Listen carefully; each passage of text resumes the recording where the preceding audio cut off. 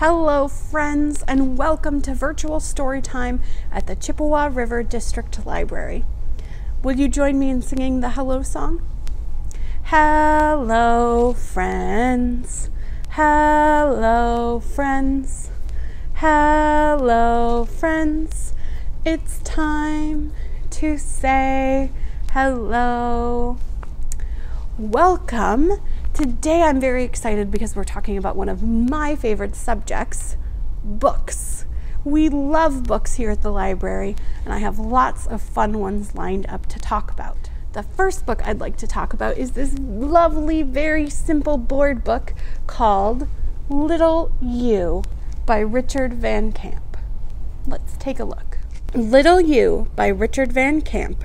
Illustrations by Julie Flett. Little You, Little Wonder.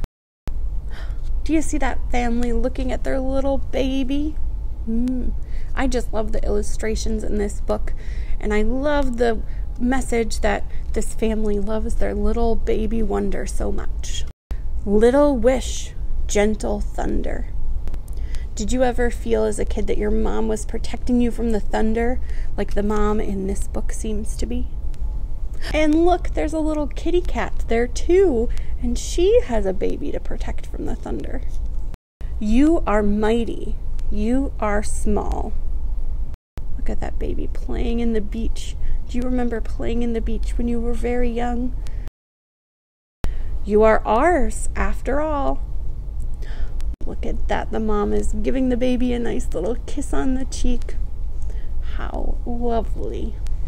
If you'd like to see more of Little You, you can check it out from our library, and there'll be links down below as always to get a copy for yourself as we're talking about reading, I'd like to teach you a song that I learned from one of my favorite children's performers, Laurie Berkner.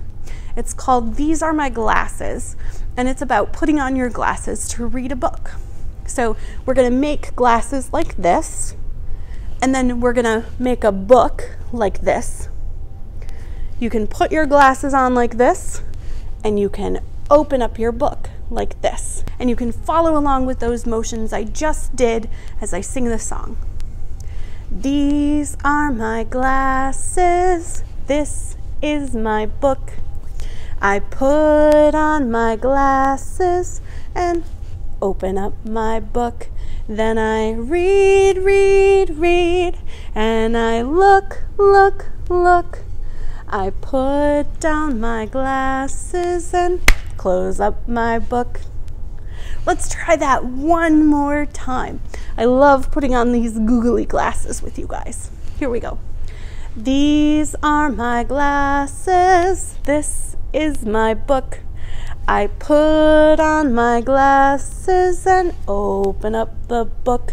Then I read, read, read, and I look, look, look. I put down my glasses and close up the book. Good job, friends. Thank you for doing that song with me. Hey there, it's time to write. You can grab a pen and follow along with pen and paper, or you can trace and follow along in the air, or you can just watch. Any practice is great practice for building those pre literacy skills. So here we go. All right, I've marked my word out here so I can trace along these dashed lines. And you could have your mom or dad do the same for you as you begin to practice writing. Let's start with this capital letter here.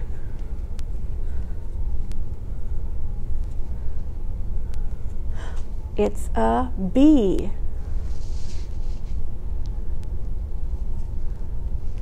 Next we have an O. another lowercase o and a K. B O O K. B U K. Book. It's time to do a rhyme. Will you join me? You need to get out five fingers, and these five fingers are going to represent five books at the library. five little books at the library. Five little books as great as can be. Along comes a friend with a library card and takes one home to read. Now, how many do we have left?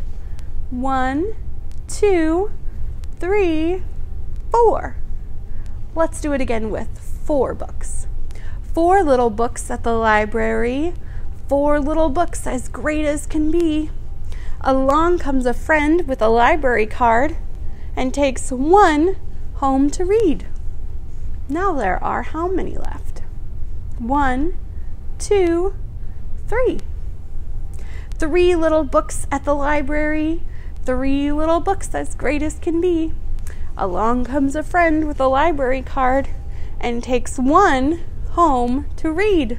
Boop. Now there are how many left? Two one. Oof, it's hard to bend both of your fingers at the same time. Let's switch to these two. Two, one, two. Two little books at the library. Two little books as great as can be. Along comes a friend with a library card and takes one home to read. Now there are how many left? One. Let's do the rhyme one more time. One little book at the library, one little book as nice as can be. Along comes a friend with a library card and takes it home to read. And now there are no more books left, so they can all return their books and exchange them and read more books. Woohoo! Another book I'd like to talk about today is Lola Loves Stories. Of course, we have to read a book about loving books in a video about loving books, right? Let's see what this book is all about. Lola Loves Stories by Anna McQuinn, illustrated by Rosalind Beardshaw.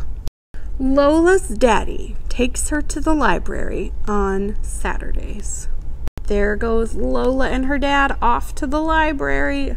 I'm so excited. That's one of my favorite places to go. The library is very busy, but Lola finds some excellent books. Oh, look at all of the kiddos looking at books in the library. it looks like Lola has found one. It might have dogs on it or maybe wolves. Hmm.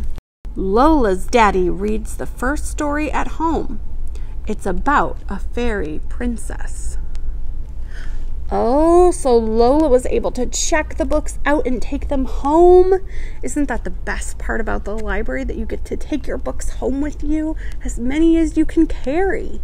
All the next day, Lola wears a fancy dress and a sparkly crown. She is a fabulous fairy princess. That is another amazing thing about books, isn't it? You can read a book about a fairy princess and then you can imagine you are one. When you read a story, it can take you to all kinds of different places and open up your imagination to be all kinds of different things.